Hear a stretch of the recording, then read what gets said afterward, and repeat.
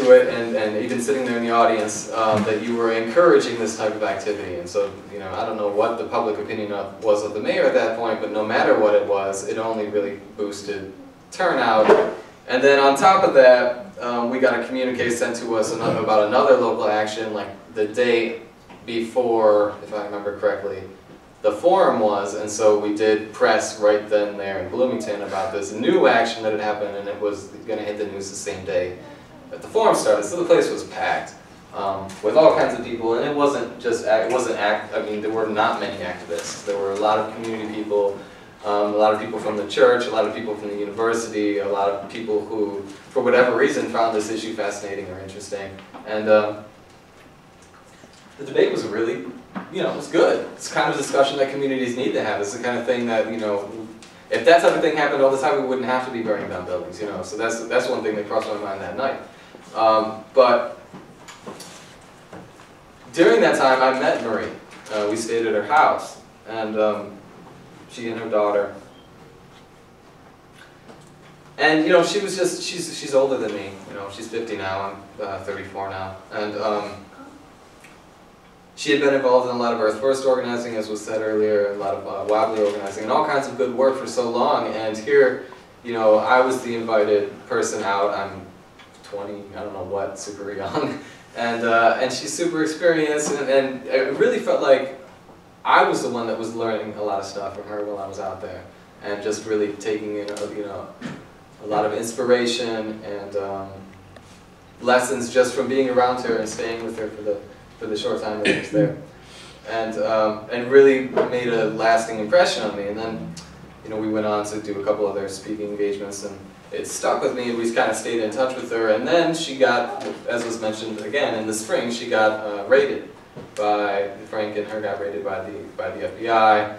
The government was claiming that they had found nails that matched, you know, or implying that they had matched the tree spiking nails. And they reached out to the press office again for support in their case because they were going to fight it out. Frank in particular was being charged. And um, as was mentioned, that was the first time anyone was ever charged for Earth Liberation Front actions. At that point, we had probably $50 million in damages. What is that, like three, four years, three and a half years of actions, a major spree of sabotage, very significant major spree of sabotage, and nobody was being caught, and um, and that was the first of it. And that reaction that they were was relatively minor compared to most of them. And so um, we were all about it, and we, we, put in a lot of work to, to support them in from Portland, and built a network, helped with the network that was existing already to do uh, international solidarity um, demonstrations for them. And we called for a day of uh, action and solidarity, and I think we probably use the term direct action because media flipped. Uh, but for us, I mean, in Portland, we were pretty busy, and what it was for us was that we were going to do a press conference um, outside of the federal courthouse at the same time that Frank was facing uh, going to trial. And um, so we, you know, so we got prepared. We had to go down there that morning, I think it was around 10 o'clock, I was supposed to go down there, and around 6 o'clock in the morning, we got raided by the FBI the second time. Um, the first time was kind of a flop. I'm not going to go into too much of that, but you know, we were not really expecting it. The second time we were ready for it. So, um, or as ready for it as you can be. So, um, and that day of action thing, and let me back up.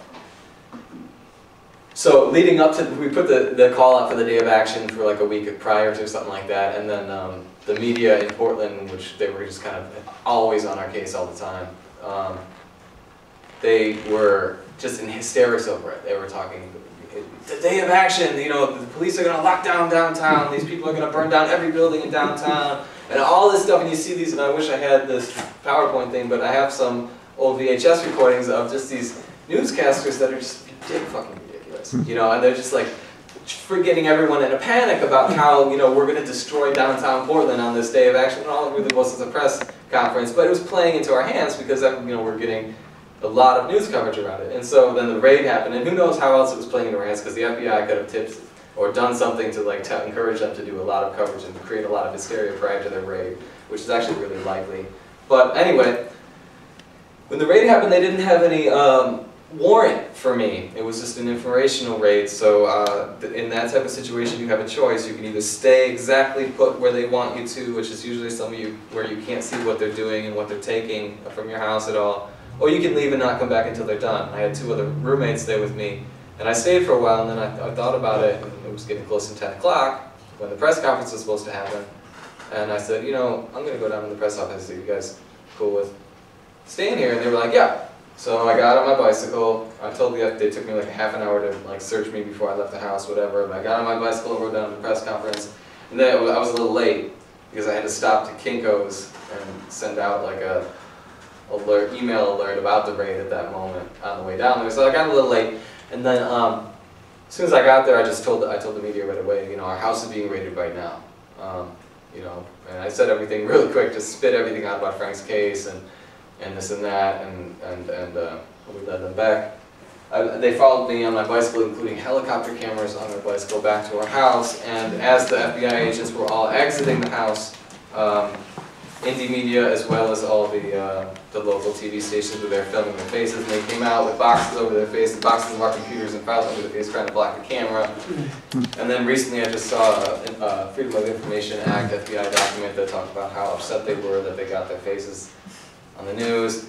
But um, all this stuff, like the, the case of what I'm trying to get at is Marie's action, you know, you can look at it like one million dollars or whatever, like this is significant, or the first time genetic engineering, this is significant. This is, these things are significant in profound, ongoing ways. Um, and what Marie and others have been able to do isn't just done like on their own. Like if, if it's just three or five or two or even one person that goes out and does this spectacular thing, they're able to do that because of support built from communities of people who understand the necessity of that kind of thing, who are willing to create a support network and base for that type of action and recognize that um, the, the, the, the problems that we're facing warrant this type of action and this, this level of resistance. And um, I think it's really significant when we're saying about Marie in particular, about how she's not just seeing, she's not worried about this just about herself. And you've seen this over and over with some other people too.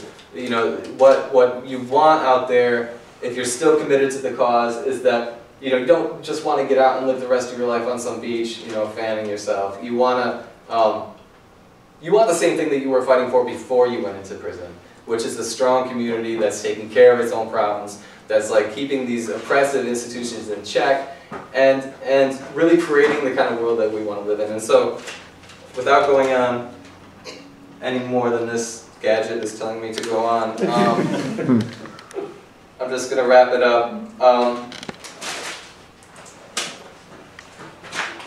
and just to let everyone know that, that Marie's case and Eric's case and the movements that you're all involved in right here and now are extremely significant. We have the ability to change this world, whether or not it seems like we're uh, we're all being punished and, and, sent to prison and we're scared of this draconian like post 9/11 nonsense. It's all nonsense. Like it, when it gets to the breaking point, we can all just like turn this thing around so quick. Everything in this society is built off of our backs, with our labor, with our work, with our money, and there's very few people that are really, really benefiting from this. And so when we get to the point where we really understand the scenario and are ready to take the type of action that's necessary, then it's all going to change. So thank you to these people. Thank you.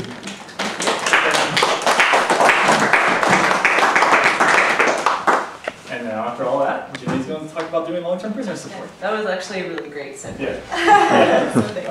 Because that's exactly why we're here. We want to talk about how to build that culture that Leslie was referring to and how to make people um, understand that this is what we're talking about. We're here for the long haul and we want to see this change continue. And for us, part of that obviously is prisoner support. Um, we're going to talk now a little bit about prisoner support, but before we jump into the nuts and bolts of that, we wanted to touch briefly on a couple of things that are very interrelated to that. Um, one is that people who accept prisoner support will be vilified for it by the government. And the second one is that people who do prisoner support are also vilified for it by the government and targeted by the state. Um, the first point we've made a couple of times already tonight, um, specifically when I was telling you earlier about Eric's case and how they were talking about prisoner support during his bail hearings, um, the alerts that we sent out were showing up in Discovery, all that fun stuff. And that sort of treatment continued throughout the trial and appeal stage. In their appeal brief, the government said McDavid is unrepentant and he seeks financial and moral support from the same coalition that is anti-government, pro-direct action. The prosecution in Marie's case did the exact same thing. Um, in the sentencing memorandum that they filed before Marie's sentencing, they said, although it might generally be unfair to infer a negative based on the nature of a person's supporters, doing so in this instance is appropriate because Ms. Mason has actively embraced that support. What becomes apparent from a review of various internet postings is that the extremist community is populated by paranoid fanatics who confuse the prosecution of a career arsonist with the persecution of a political activist, who imagine that they live in a totalitarian police state and who have no regard for the law. Um, I really, love that quote, but you know, it's very clear here that they're trying to use her support against her. This is clearly an attempt to scare defendants away from prisoner support groups, to drive wedges between us, and to alienate people from their communities. And these attempts must be recognized for what they are. Sometimes this is easier for those of us on the outside, but for folks on the inside, this can actually be incredibly complicated because they're the ones that have to deal with the ramifications of this. Probably the most important, important component of any strategy around this issue is that prisoners have an understanding before spending any time behind bars of what it actually means to accept prisoner support. And if they're not comfortable with the implications, which is totally fine, um, they should just say, say so from the get-go. And that can prevent a lot of sticky situations in the future. The second point that prisoner support itself is targeted by the state was made obvious when we received Eric's Freedom, Freedom of Information or FOIA file, um, at least the parts that hadn't been redacted. There were copies of flyers we distributed for fundraisers, report backs from informants who attended our events, and perhaps most disturbing were the possibly hundreds of pages we received documenting Eric's correspondence from people when he was at the Sacramento County Main Jail. These letters were not just kept on file.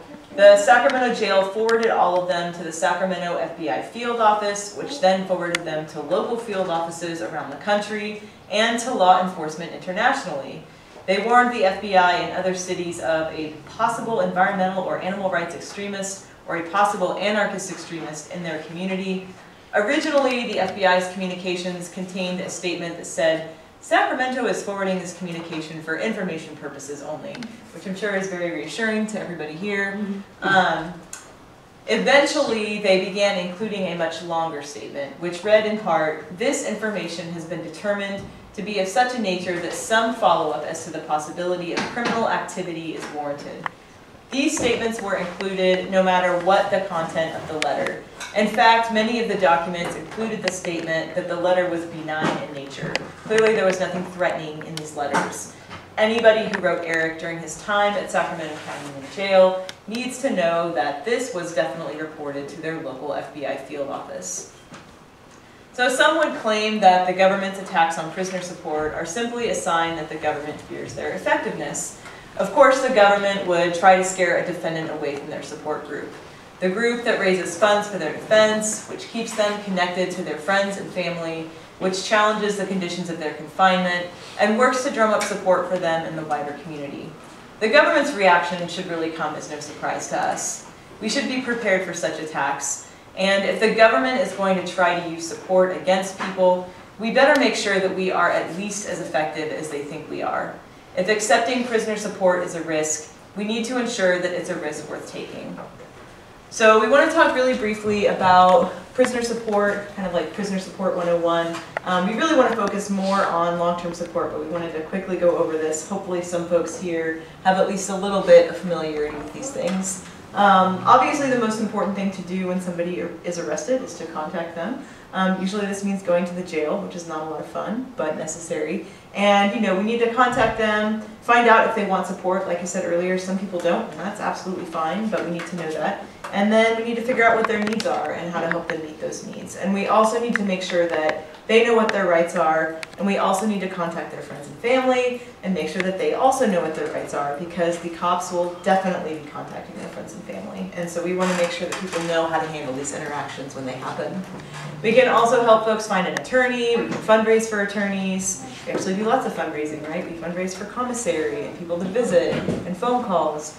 lots and lots of court support, um, going to bail hearings, going to motion hearings, going to trial, going to sentencing. Websites and email lists can be set up. Um, we need to be ever cognizant of the fact, of course, that we are never alone, right? We're not the only ones that read these websites and read these emails. The government will definitely be reading them too and definitely searching them for anything they can use against our friends and loved ones. So we need to be very careful about what we say in these emails and websites. And this should also be kept in mind when writing letters. Um, somebody asked us during our first talk, how do you write a letter to a prisoner?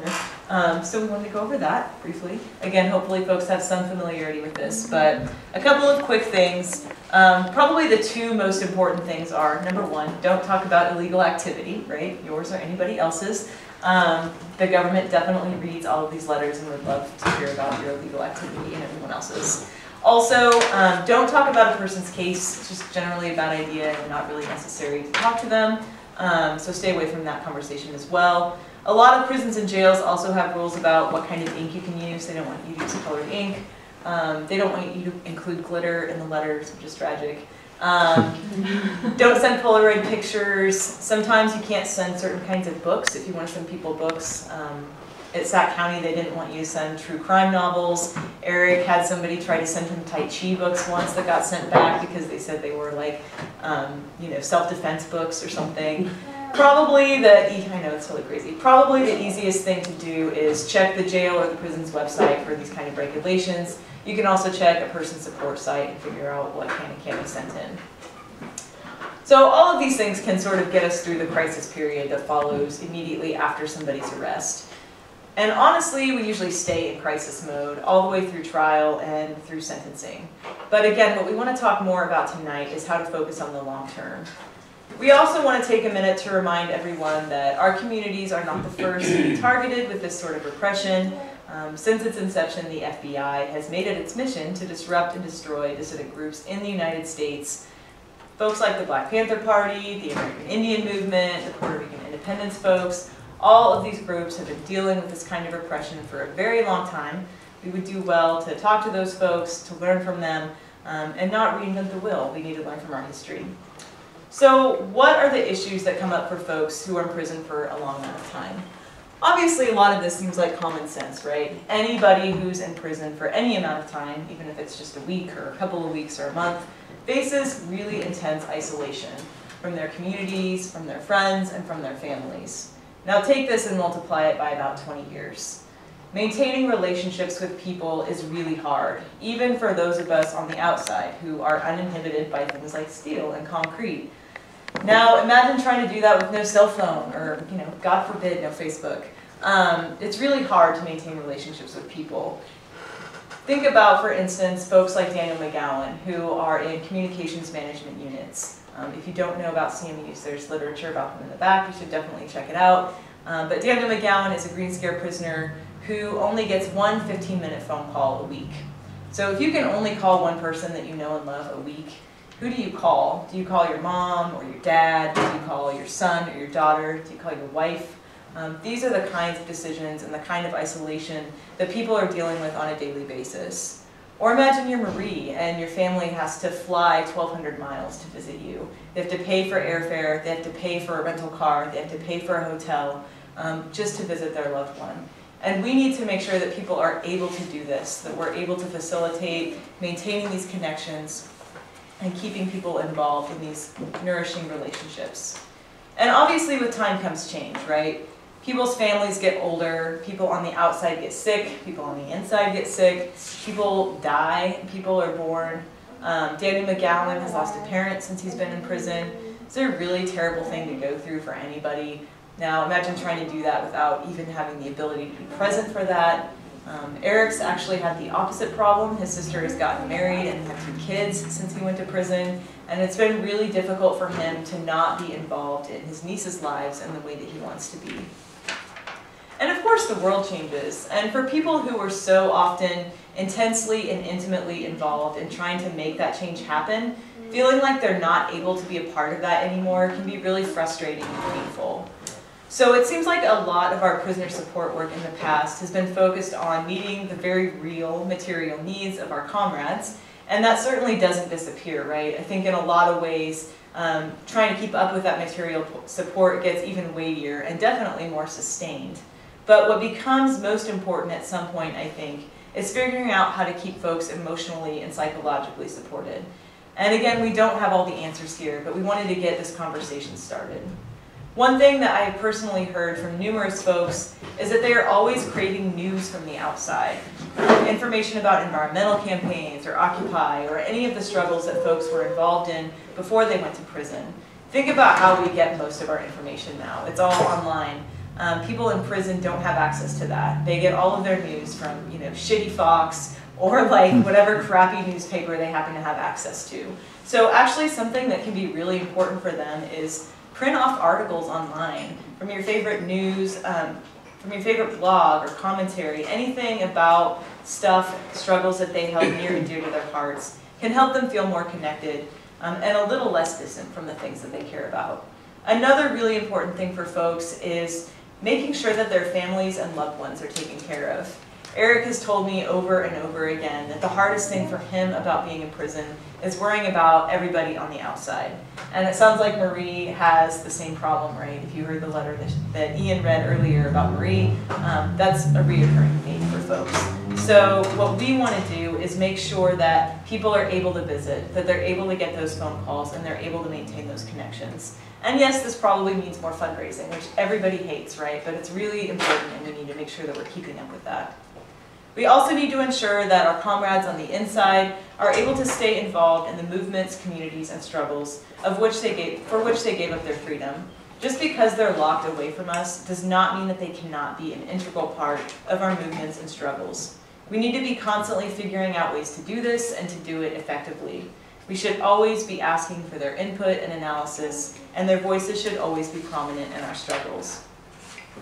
So I asked Eric to write up something about what he sees as important for long-term support, and this is what he had to say. In looking at long-term prisoner support, my very biased perspective first turns to the tangible yet implicit intents created by the structures of incarceration. The symptoms which manifest themselves give me an idea of the illness I'm dancing with. One, amongst numerous others, has popped up consistently throughout these past six years of imprisonment. How the impact of not being around friends and family attempts to eat away at my very core. By using incarceration as a tool to remove folks from their communities, the trauma of isolation also manifests as a reciprocal void within the individual. If the person has not explored and nourished an authentic relation to who they truly are, their psyche will compensate to fill the void with something in their immediate environment. In prison, those fillers end up being structures which are a part of what binds them. The choices of McIntosh and Bond come to mind. So far as the translation to long-term prisoner support, a saying I picked up from somewhere floats to the surface. Tell me who your friends are, and I'll tell you who you are. I can imagine a change in the way some folks have been reacting to imprisonment if local prisoner groups made it a priority to see that prisoners within their reach have full visit schedules while providing space for their loved ones to participate as well. Receiving visits from those who know your heart and carry similar interests revalidates and aids in the processing of imprisonment while reinforcing who you are. It's also a gift, a tangible view of the world beyond the concrete and steel which saturates incarceration. This isn't 100% by any means, one of my co-defendants being an example, but I feel that folks living, in, living moment by moment in an environment of captivity bent on traumatization and regression will have a larger chance of surviving with their integrity intact if those types of relationships they held dear on the outside are maintained and nourished. One other thing I wanted to touch on all too briefly is post-release support. Um, this is actually something that's incredibly important and probably deserves its own tour. So, you know, stay tuned for that. Maybe sometime in the future we'll be back. Um, but obviously folks who come out of prison are usually starting with basically nothing. And they are also potentially attempting to heal from a very traumatizing situation. This is an uphill battle and we should definitely make sure that we're not leaving our friends in the dust. Yes, somebody getting released from prison is obviously a huge cause for celebration, and I don't want to gloss over that at all. But this is not the end of their struggle with imprisonment. We absolutely cannot think that support ends when a prison term ends.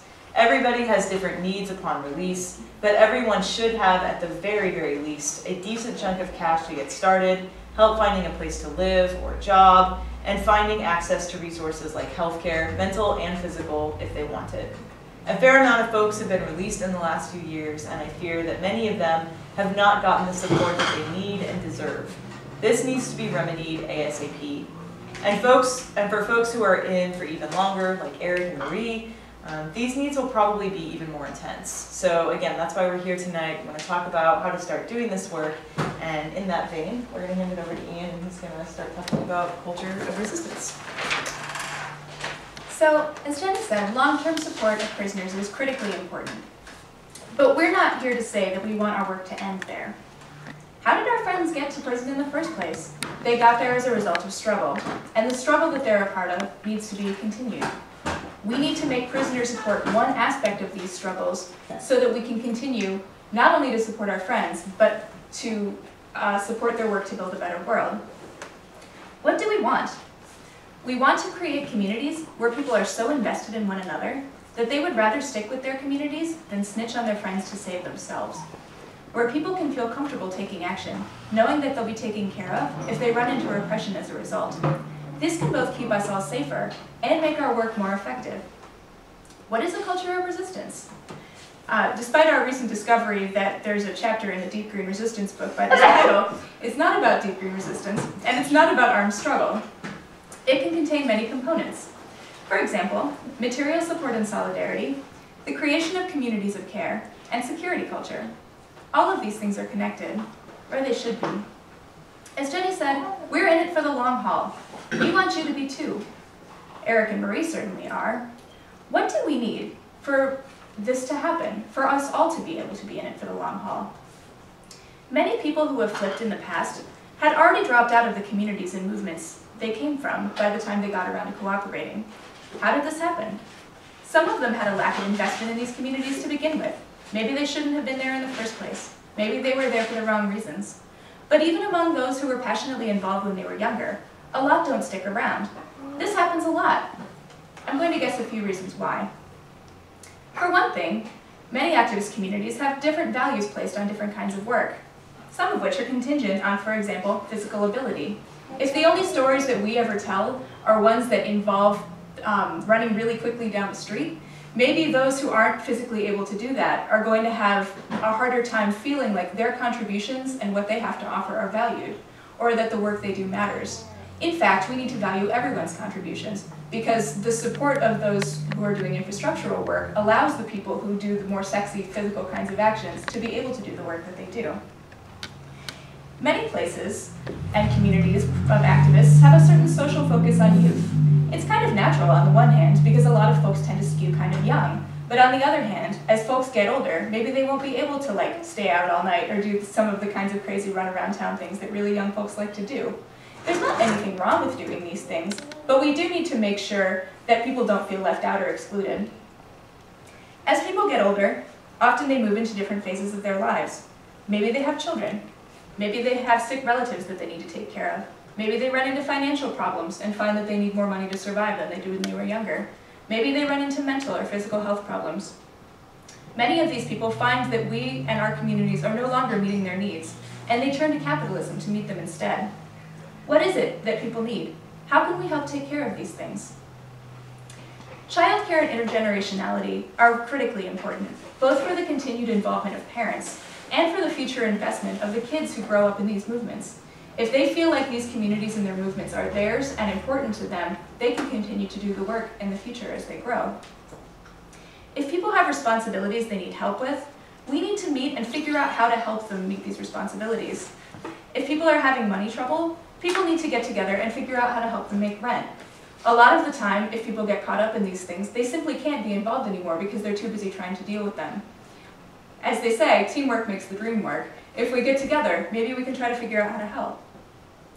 If someone is feeling burned out or depressed, or having a hard time, we need to figure out how to help them too, especially how to refocus their anger and hatred toward the society that creates the conditions that often makes them feel that way.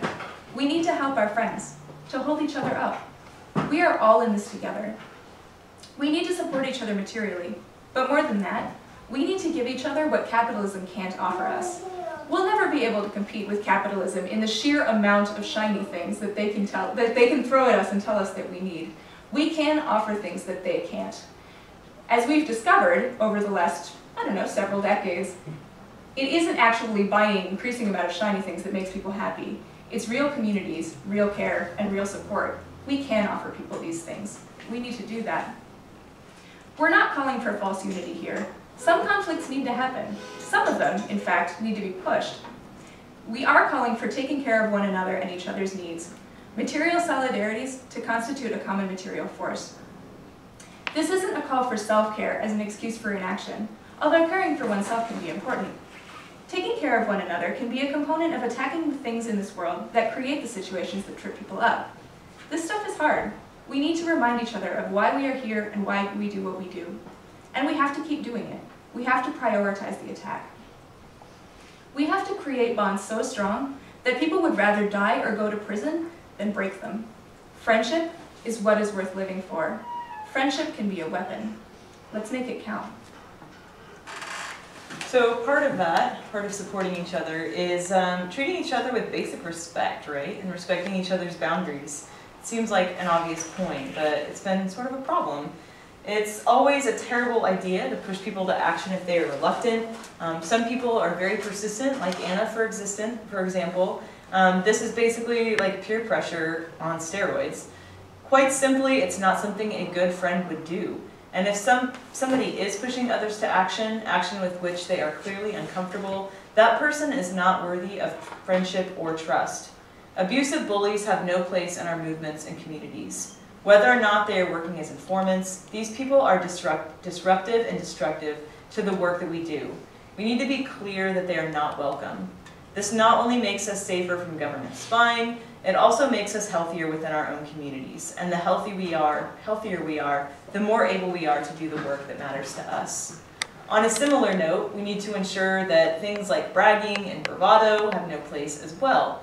People who talk about illegal activities that they or others they know have engaged in creates serious security problems. I'm sure we can all think of a couple of people that, that do stuff like this in our lives. I can think of two off the top of my head, Anna and Lauren. Um, both were very, very bad about this. Lauren in particular loved to talk about illegal activity that she and other people had been involved in.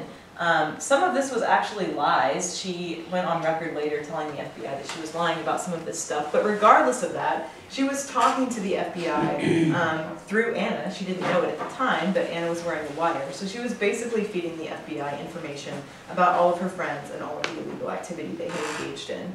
We want to create communities where people have a strong sense of self and don't feel like they need to do this to prove themselves to others. Another thing we need to do is make sure that we are ready when the government comes at us with their COINTELPRO behavior. Um, this is a document from Potter's previously be read. It's from a, a FOIA file um, in which a government informant is talking to an FBI agent about the animal rights movement. And they say the animal rights movement does little research on newcomers into the movement and basically goes with its gut instinct as to whether a person is an informant or not. Organizers of the animal rights movement can be discredited and removed from the scene by planting rumors that they are plants and or informants. Um, clearly, they know that this works, and we need to be really careful about rumor control. Rumor control can become really complicated when we're trying to support our comrades in prison, because often lines of communication with them are extremely hampered by the state. This is why it is essential that nothing be reported on as fact until there is undeniable documentation about a person's status as a cooperator, for example, a plea agreement. We should never make assumptions about what a person in prison is doing